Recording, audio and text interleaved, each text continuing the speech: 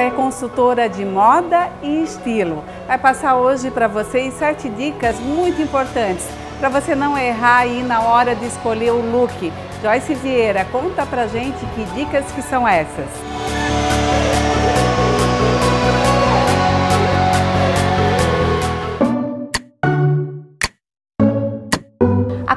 De imagem trabalha diretamente com o autoconhecimento e nos ajuda a aumentar a autoconfiança.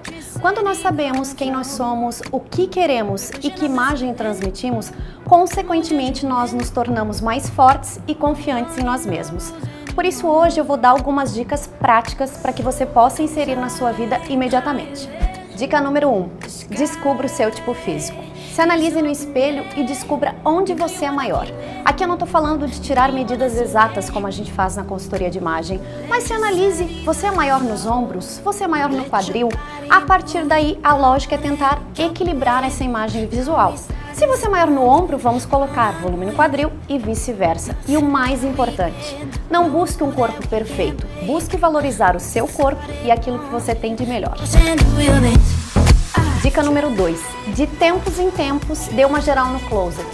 Tire de lá tudo aquilo que você não usa há muito tempo ou aquilo que não te serve mais. Sabe aquela calça 36 que está lá guardada há anos?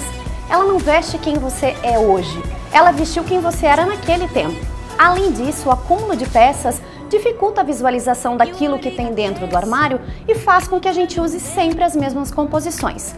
Além disso, quando você tirar e for fazer essa geral, tire tudo aquilo que precisa ser consertado, já deixe separado e mande para o conserto, forme alguns looks e fotografe. Isso vai te ajudar muito naqueles dias que você está sem tempo ou sem ideia da produção a vestir. Dica número 3. Depois de se conhecer, destaque aquilo que você mais gosta em você. Nós podemos fazer isso usando estampas, usando brilhos, usando os decotes. Se você gosta do colo, aposte em decotes mais profundos. Assim como se você gosta do rosto, use colares, brincos, lenços, tudo que atrai atenção para essa parte do corpo. Isso é uma maneira simples de te fazer sentir mais confiante e mais bonita. Dica número 4. Adote uma terceira peça nas suas produções. Pode ser um casaco, um colete ou apenas um lenço no cabelo ou no pescoço naqueles dias em que estiver mais quente. Além disso, o colete, por exemplo, é uma ótima maneira de esconder aquelas indesejadas gordurinhas. Assim como nós devemos ressaltar aquilo que você gosta, nós podemos também camuflar o que você não gosta e te fazer sentir mais bonita. Dica número 5. Adote mais cores nas suas produções e se permita fazer novas combinações. O círculo cromático é um ótimo aliado para treinar a nossa mente a fazer combinações diferentes daquelas que nós estamos acostumados a usar todo dia.